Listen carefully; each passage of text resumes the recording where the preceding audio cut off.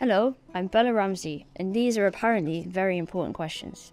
What surprised you most about the reaction to the show? I was surprised that people um, liked Ellie so much initially. Like me and Craig Mazin, the creator of the show, we were thinking like it would take a couple of episodes for people to be like, uh, Ellie's okay, but they seem to they seem to sort of like dig her from the get go. So I was I was surprised about that, like pleasantly surprised. Do I just put it here? What on the show has helped you prepare for a zombie apocalypse? I know how to curse at zombies now. Uh, I feel like I've gained some experience in stabbing them in the head. So, that's all you need.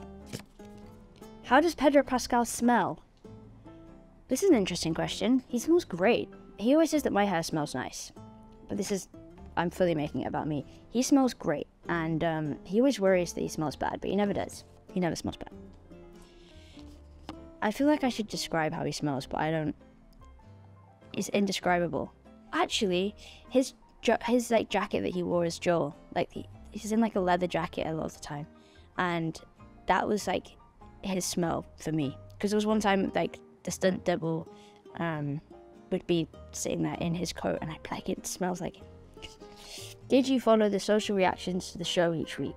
Yes, and I vowed that I wouldn't, but I did, and it was actually it was actually great a lot of the time. I did have to like like delete Twitter and Instagram and then re-download it just in time to like post for the show and then delete it again because I would get like quite sucked in. It's pretty addictive. What have you stolen from set? Nothing. I need to get better at stealing things from um, from sets. I literally have nothing. They gave me uh, actually like I went out and bought my own Ellie jeans. I feel like I just should have stole a pair of Ellie's jeans, but I went and bought them from Eddie Bauer. I still have them. They're like my favorite jeans. It's the last one.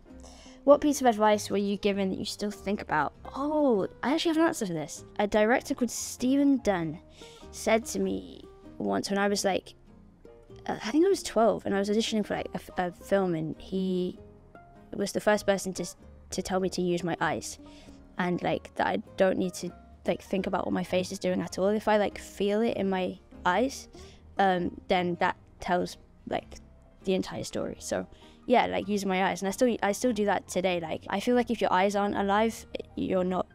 No one's gonna believe you. Like yeah, I feel like the eyes are the gateway to the soul, right? So use your eyes. That's that's what I still think about.